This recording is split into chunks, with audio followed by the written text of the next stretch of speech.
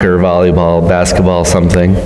Uh, it could be uh, any number of things that we have in our lives that we just want to get better at. And we begin to work on it, and eventually we begin to get a skill in that area.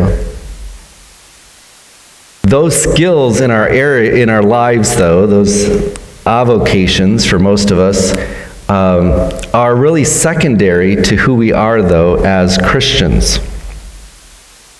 Know, today's message centers around the skill of living the Christian life. What are we doing in our Christian life to build skill in living out the Christian life? Not only in church on Sunday morning, but when we go to work, or if we're retired and we're not going to work, or we're in school, school year is about to start up again. What does that Christian life look like? What skills are we building? What are the things in our lives that we're working on to try to hone in, to learn from our mistakes, to learn from others, and to increase our ability and our skill in our Christian life? And so that's what I would like us to talk about today. I'm going to speak from Galatians 3. You'll read Galatians 3, verses 1 through 5.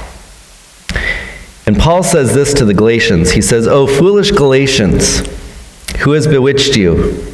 It was before your eyes that Jesus Christ was publicly portrayed as crucified. Let me ask you only this Did you receive the Spirit by works of the law or by hearing with faith? Are you so foolish, having begun by the Spirit? Are you now being perfected by the flesh? Did you suffer so many things in vain, if indeed it was in vain? Does he who supply does he who supplies the Spirit to you and works miracles among you do so by works of the law or by hearing with faith? Let's pray. Our Father, we ask again that you would bless this time as we look into your word. We pray that the Holy Spirit would do his work of using your word in our lives to conform us to the image of your Son, Jesus Christ. Father, help us to be a people who take seriously the Christian life, who are not fools, but are wise, wise in this world according to your word. We ask this in Christ's name. Amen. So, in your bulletin this morning are four points. I'm not going to preach four points. Uh, I'll be honest with you. I'm not going to even try. Uh, we're going to, I'm going to use the first point to review um, what we've talked about so far in the book of Galatians.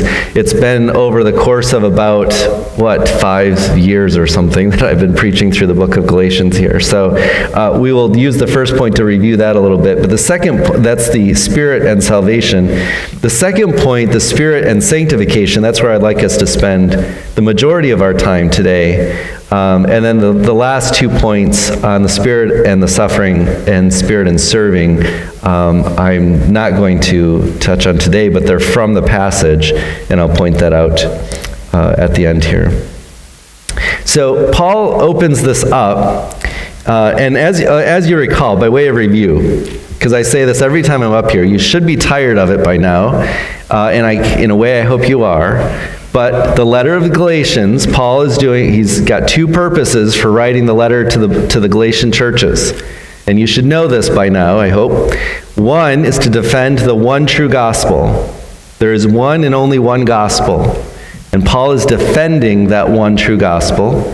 And two, Paul is an apostle of the Lord Jesus Christ. Now, he's number 13, but he is an apostle. And his apostolic ministry was questioned uh, in Galatia. So you remember the, the, historical context. Paul goes on his first missionary journey. He goes through the, re- the region of Galatia. He starts a bunch of churches in the little towns as he, as he worked his way through.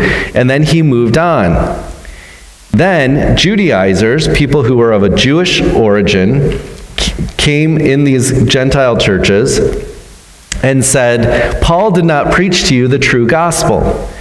Not only must you believe on the Lord Jesus Christ and his sacrifice for your sins, for forgiveness of sins, but you must also keep certain parts of the law, the parts that we tell you to keep. So there was an and. You must do this, and you must do that. You must believe and you must do something.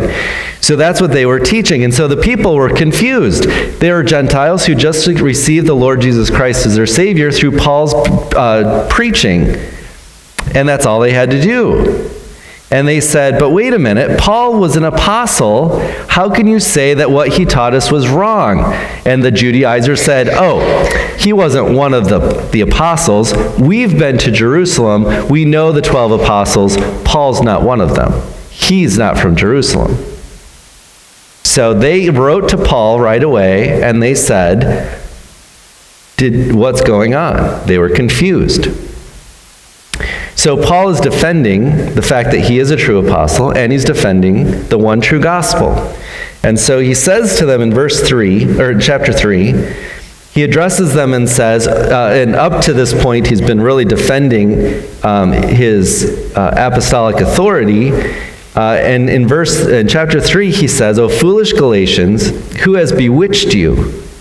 Okay, so in other words, he says, You have become fools. Now, this isn't a nice term. We don't normally walk around calling people fools.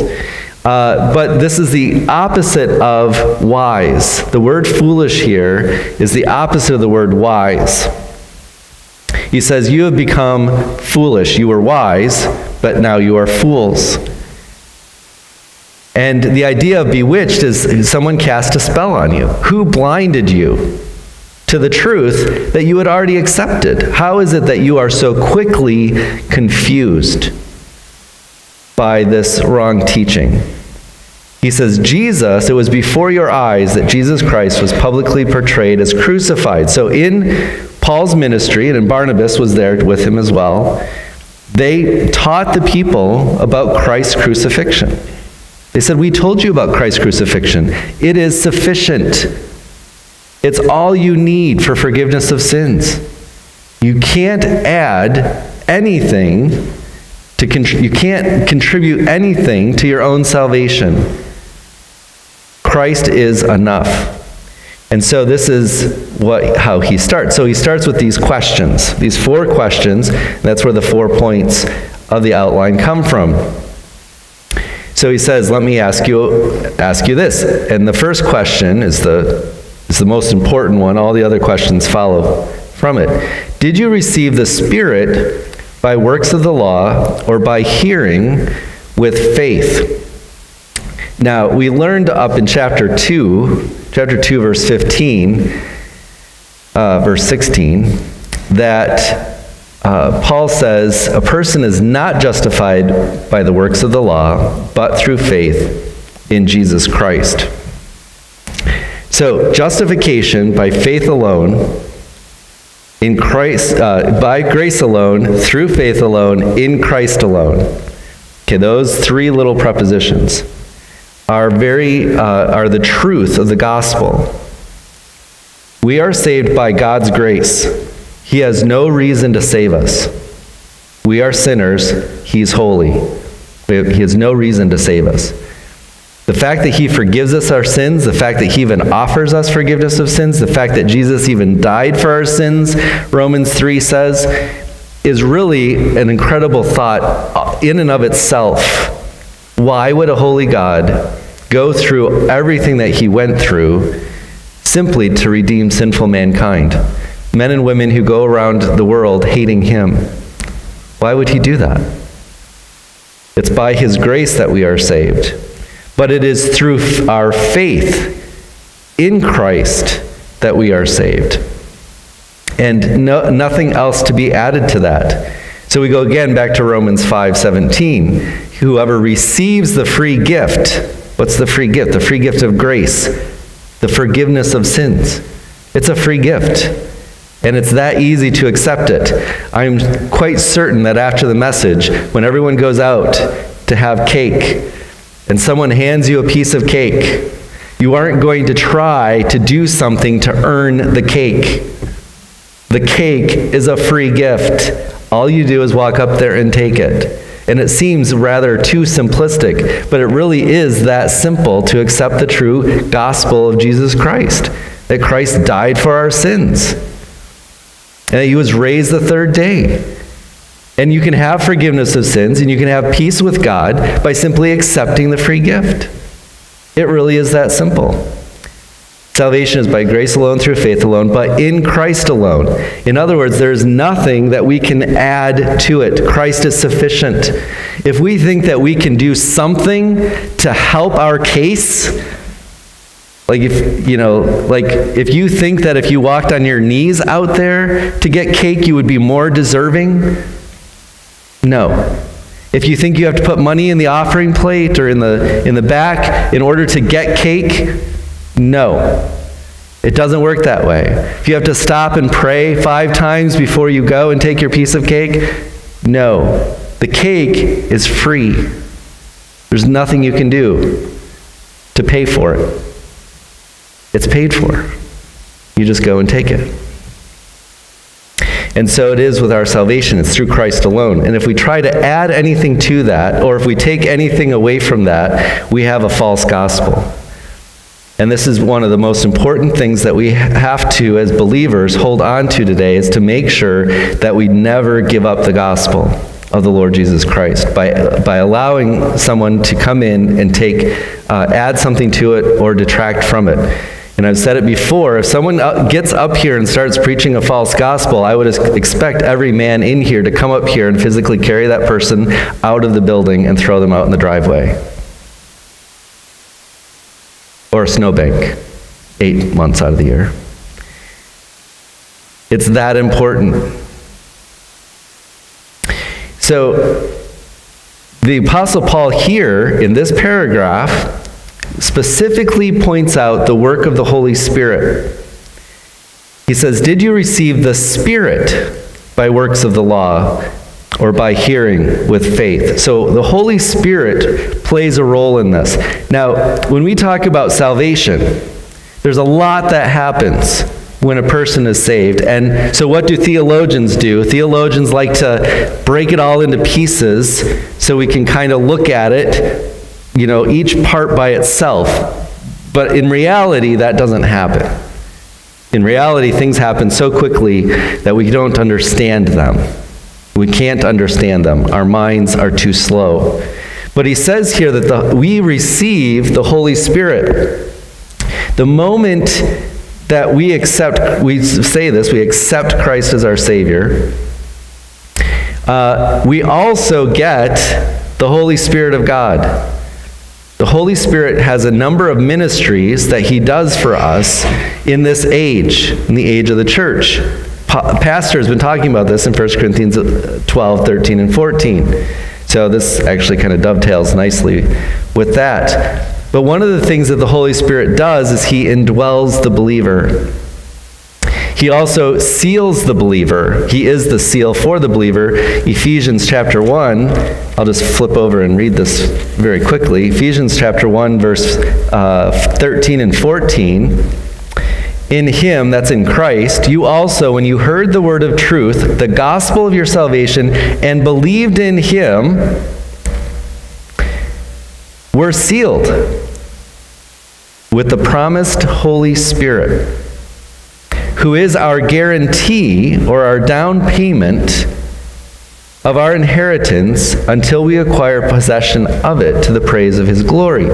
We receive the Holy Spirit, who then becomes our seal. And once you have this seal, by the way, you cannot lose it.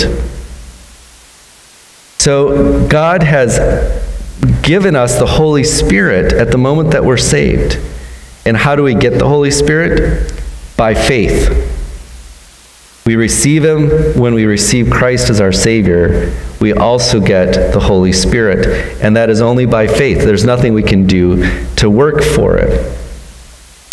So, what is the point of, of this? God has made us sinners. We are all sinners. God has made us sinners in order to save us for His glory. Our salvation is not for our benefit. We didn't deserve it. It's for God's glory. We benefit. Don't worry. We benefit. But we benefit because we are saved for His glory, not for our own glory, not for our own status, but so that we can have fellowship with Him. This is why God has saved us. And when He saves us, He gives us the Holy Spirit. So, our salvation, when we are saved by faith, by grace through faith in Christ, we also receive the Holy Spirit. And Paul is arguing that if you received the Holy Spirit by faith, and not by works. You didn't do anything to earn it. There was no, here, say this prayer and you get the Holy Spirit. No. Uh, say this prayer or do this thing and you will, you will be saved and then the Holy Spirit will come. No. It was by faith. And they had received the Holy Spirit by faith and they knew that. So he starts his argument with this. Now, the second point, and where I'd like to spend uh, the rest of our time, is the Spirit and sanctification. So he says, if you received the Spirit when you were saved, that's the first point, number one, and they did, by the way, that's the answer to the question. He says, having begun well, verse 3 he says, Are you so foolish? He asks the question again. Having begun by the Spirit, are you now being perfected by the flesh? All right, so I'm saved. One of the things that happens when I'm saved is I receive the Holy Spirit. He comes to me also and indwells me, and He seals me. And both of those things are from that point in time until the time I see Jesus Christ as my Savior. Now, both Ephesians 1 and Galatians 3 are saying the same thing. He, in this case, he uses this. He began, he began. So you receive the Holy Spirit, then the Holy Spirit, Spirit begins to do something in us. And he's going to continue doing that thing in us until there's no more work to be done in us. That's what it means by perfected. He says, having begun by the Spirit, are you now perfected, perfected by the flesh? So what he's talking about now is the Christian life.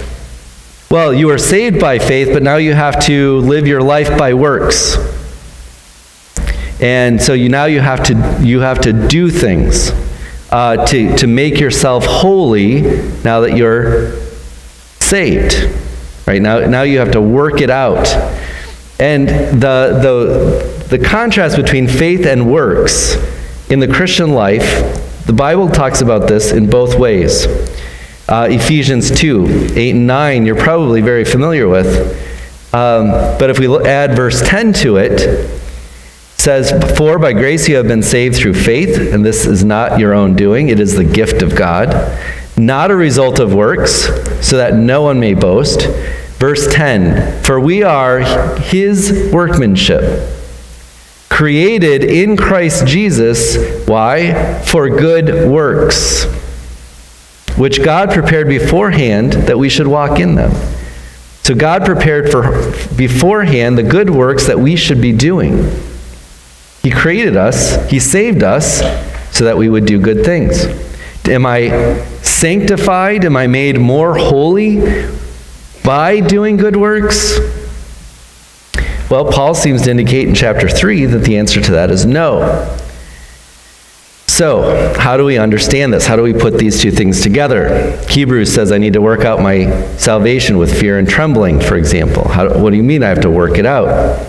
So, there are some various views on this idea of sanctification. The short answer is sanctification is becoming more holy over the span of my lifetime. I'll, just, I'll quote from the Baptist Catechism. Sanctification is the work of God's Spirit. That's what Paul says right here in Galatians 3 3. Whereby we are renewed in the whole man after the image of God, and are enabled more and more to die to sin and to live to righteousness. So we have, we're still sinners, but now there's a struggle. But we have the Holy Spirit who will help us in the struggle to live a more righteous life, to uh, turn away from sin, and to be more like our Savior, Jesus Christ. This is what the Holy Spirit does in us. Now, some people will teach then, well, if sanctification, this idea I can become more holy, is by faith, as Paul says here in Galatians 3 3, and not by works, then what I have to do is I have to sit and in a passive way, just let the Holy Spirit change me. Okay, completely passive way. Well, there's some there's a couple problems with that. How does that work out with the verse that says I have to work out my faith in fear and trembling? How does that work with Ephesians 2:10, where I am saved for good works? Those seem to be very active, not very passive. there's another view, there's many views. As many theologians as you have, you have twice as many views, right? So there's another view that says, no, if I sin, I have to question my salvation. So I have to sanctify myself by my good works. And there are some who would teach that. Um, but that goes against what Paul's saying here in, in Galatians 3. The Holy Spirit does this work in me, and I do this by faith. So, how does this work? How does this how do we grow in Christ? How do we become more like Christ? How do we grow mature in our Christian life as if it were a skill that we need to work on? So God has he's he's taken us sinners and he wants to make us like his son Jesus Christ. And he wants us to do it for his glory. So how does what does this look like? What do we do with this? Well, here's an analogy, and I don't know how good of an analogy it is, but we'll try it. So Galatians 5, we haven't I won't preach this message yet. In another 10 years maybe I'll preach this one. But Galatians 5:22, the fruit of the spirit is love, joy, peace, patience, kindness, goodness, faithfulness, gentleness, self-control. Against such things there is no law. Okay. Fruits of the Spirit. Most of us probably have those memorized. It's a good list if you don't have it memorized. It's a good list to memorize. So let's look at patience. So, as a believer, most people are like, no, no, don't, please don't tell me to pray for patience. We know what happens when we pray for patience. Yes, we do. And I'll talk about that. Um, let's say you're reading through the scriptures and you come across that, and maybe it's a sermon like this, maybe it's something else the pastor's preaching on 1 Corinthians 13, for example, on love. This is really good. Love is patient. Okay, so we'll just tuck it right into pastor's series there.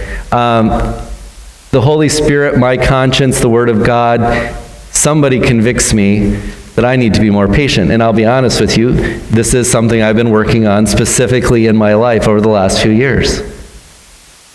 Why? Because I've had failure. That's why. And I've said to myself, Christians are patient. And the Holy Spirit is in me to make me patient. But I've, I've failed. I failed miserably. And so I need to work on the skill of being more patient. Now, how do I do that? Well, Paul says these things are by faith. Well, what does that mean? What does it mean that it's by faith? Well, I think on the one hand, by faith means simply this. When I wake up in the morning and I put my feet on the ground, or even before I put my feet on the ground, I have some truths of the Word of God that I can claim. The Holy Spirit is in me. Galatians 3, verse 2. And if the Holy Spirit is in me, which I believe by faith, I, I receive that by faith, He is in me, then He is going to work patience out through me. I have everything I need to be a patient person. Right there, in that one biblical truth. Because Galatians 5:22 tells me, the Holy Spirit is working through me, I'm going to be patient. And guess what happens? If I'm doing something to not allow the Holy Spirit to work through me, I'm not going to be patient. So by faith, yes, I accept that. Now, what do I have to do? I have to exercise that. I have to test that. One of the things I learned about woodworking, perhaps the most important thing you need with, when working with wood is a sharp blade. It's got to be sharp. So what do you have to learn how to do? Sharpen blades. and if you're not good at that, well, then it's just miserable. How do you know if your blade is sharp? Well, I can sharpen my blade. I could run a piece of paper over it. I've cut my fingers on them. Yep, they're sharp. How do I know that it's sharp? Until I take it to a piece of wood and I test it. Is it sharp? Is it sharp enough? Is it sharp straight? I've done that before. Why isn't this cutting right? It's sharp. Oh, yeah, it's not straight. Okay? So now I have to test that skill. And that's what we don't like, right? Why don't we want to pray for patience? Because something's going to happen to test our patience. And is that fun? Is that what we like? No. So, what can I do then if I want to claim these truths that the Holy Spirit can work out patience through me? One is when a situation arises, I don't run away. I have the inner courage, I have the strength to face the challenge that comes to me to say, hey, here's a conflict. Are you going to run away? Or are you going to patiently handle it? Or are you going to patiently run away? Maybe that's an option. No, I can deal with it. Why can I deal with it? Because by faith, I know that the Holy Spirit can work through me in this situation to be patient. So I have to I have to pray, I have to rely on the Holy Spirit, I have to have that faith that he will do that and I have to not get in the way. But then what happens? The other side of it has to happen, right? Where I actually have to show patience. I have to actually not lose my temper. I actually have to not sin anger, in anger. We can call it, uh, you know, irritability. You can call it uh, uh, losing your temper. Okay, but if we use the biblical term for it, you're being angry in a sinful manner. That's what the Bible calls that. I don't want to do that. So then there's other things that I'm going to do. For example, I found one time that taking a, a particular cold medicine makes me very irritable. Like, terrible. I have no patience whatever. In fact, I almost feel like I don't have control over my own emotions. When I recognize that, I've never taken that cold medicine again. It's better for me to suffer with the symptoms of the cold and be patient than it is to take some medicine that's supposed to heal me but makes me sin. What's more important? So, by faith, I accept the fact that the Holy Spirit is there. He's there to help me. He works through me. He works through patience through me. But then there are other things that I can do to make things worse. I can worry about things, run things through my mind. And you know what normally happens when you try to run things through your mind? All of a sudden it's like, nope, I should, nope, if that happens, I'm not going to say that. That's just going to escalate the situation. You know, anger and patience are very different, right? Anger is a, a very strong emotion that's kind of opposite of patience. And if I escalate the situation and raise the emotions, I'm going to make the situation worse. So I don't want to do that. I don't want to say those words. I don't want to act in that way. If this situation arises, can I confront it? Yes, I can confront it. But how will I do it? How will I do that wisely? And so sometimes when we look at a, a, a situation like that, we say, okay, well, I want to I wanna be more patient. Yeah, yeah, yeah, patience. How long does it take to learn that? Um, I want to learn that right now.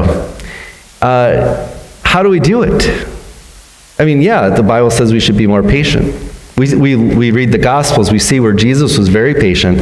In the story of the 5,000, his disciples weren't patient. Can we send these people home because we don't have food for them and we're hungry and want to eat. Jesus says, no. No, let's feed them. Jesus showed his patience often throughout his life, and I can look at that and I can study that and say, this is how it looked in Jesus' life, and I can do that. Another very practical way is I can say, here is a person in my life I know who is very patient. They're always very patient with me. I see them be patient with other people. Is there a way that I can just spend time with that person so that some of that will rub off on me so I can learn more about that? Yes. What if I don't know how to start? Call your pastor. Talk to an older woman or older man in the church and say, I'm a younger man or a younger woman in the church and I, I need to work on this. Can you help me?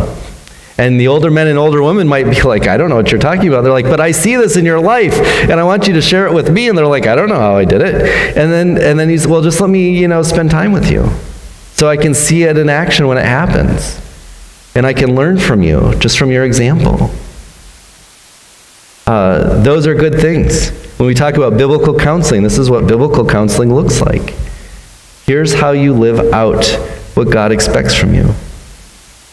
What Paul is making here is, is this argument that the people of God have been given the Holy Spirit and we received him by faith, and by faith we allow him to turn us into the image of God. But there is something that we need to do. We need to exercise that. We need to test that. We need to be not afraid to fail.